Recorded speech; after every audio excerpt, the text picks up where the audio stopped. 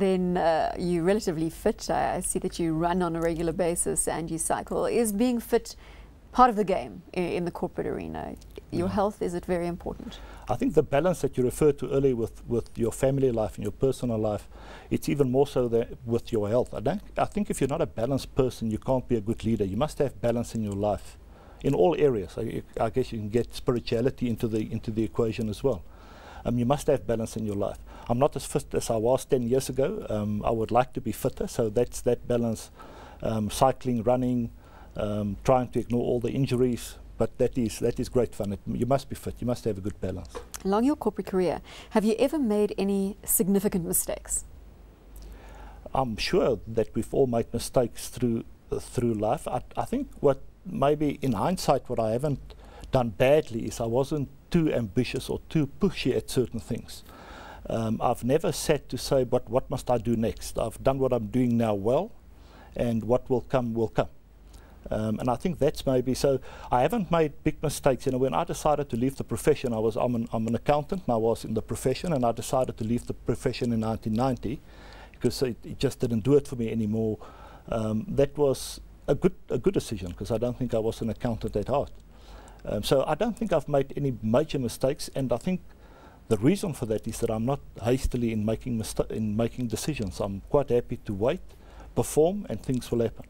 When it comes to decisions, are you quick to make decisions once you've thought the process through? Look, I'm very quick to make decisions. Sometimes being blamed for being a little bit maverick, because nothing happens if you don't make decisions. You have to make decisions.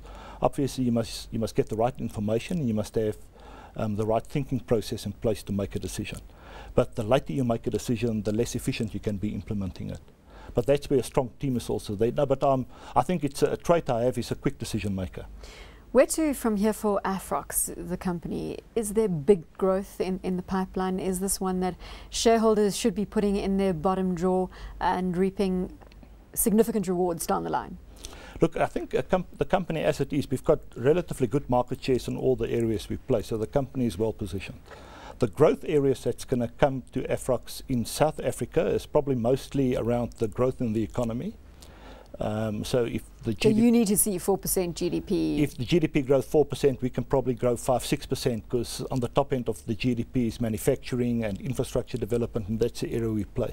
I think a lot of growth for us is in, in Africa, in the rest of Africa, outside of South Africa. We are present in 14, 15 countries outside of South Africa, but there's still a lot of opportunities out there. Countries like Angola, with the oil industry developing there at a huge pace, um, there's huge opportunities in those countries. So that's where we're going to get a lot of growth, is outside of South Africa. Are you spending time investigating these opportunities on the continent? No, a lot. We, we've got a big team working in Africa. That's 25% of our, of our income, as you know. About, about 20% of our, of our people works in Africa. We've got local managers in all those countries. Do you Uh, travel? I spent a lot of time in Africa. Yes, I also enjoy traveling into Africa. Um, but now we're very close to what's happening in Africa, and we will get to those opportunities. You joined Afrox in 2007. Where to from here for, for you?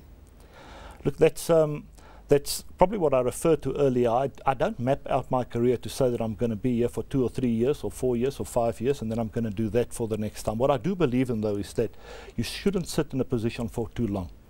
And, and that's why I think the American system, two terms of four years, is about the maximum. I don't think you should sit in a position for longer than that, maybe even a little bit shorter. Certainly, you should be there long enough to to deliver what you've promised. Um, so you must implement the You know. I'm doing calculations now. Uh, so 2011, four years. Sure. Are you Uh, looking at an exit I've been here for three years now. I don't think I should sit in this job more than eight years, as I've said. Um, obviously, there's not another job in Afrox. Um, as I've said, I'm a good South African. Um, so, but that's still five years ago. So it's um, five years to go. So it's still still a relatively long way. Besides the, the corporate aspect, what about Tjaart Kruger? What's next on the agenda personally for you? Now, look, I'm I'm 50 now, so uh, my daughter say that's quite old. I think it's still relatively young. Um, I'm not. I don't have retirement in my in my head. So, if if I sit in, in at Afrox for another five years or so, or whatever the five, six, seven years, doesn't matter what the what the time is. I think that will probably take me close to 55. So I think I hope I'm still energetic enough to do something after that. And I think we must also use the skills that we build up in people. I think I've got something to offer. If it's not something in corporate life South Africa, maybe it is something in the in the charity arena. Um, I'm quite passionate about the corporate social work that we do in Afrox and the stuff we've done at Tiger, the United Against Hunger stuff that we've done there. Uh, maybe it's in that area, maybe it's just being a good citizen, maybe it's getting involved in smaller businesses, of which the farm could be one. But I don't map it out too much and I don't live into the future too much. And Tjaart, finally, advice that you would offer to other members of the corporate arena wanting to make it in the corporate game?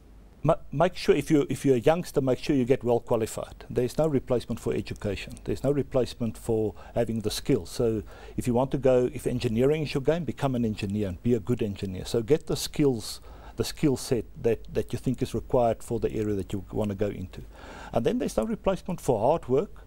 And, and being diligent in what you do, and and I really do believe that if we if you deliver, you'll you'll you'll get ahead. People will look for you. People will headhunt you because um, that's what we want. We want people on our team that deliver.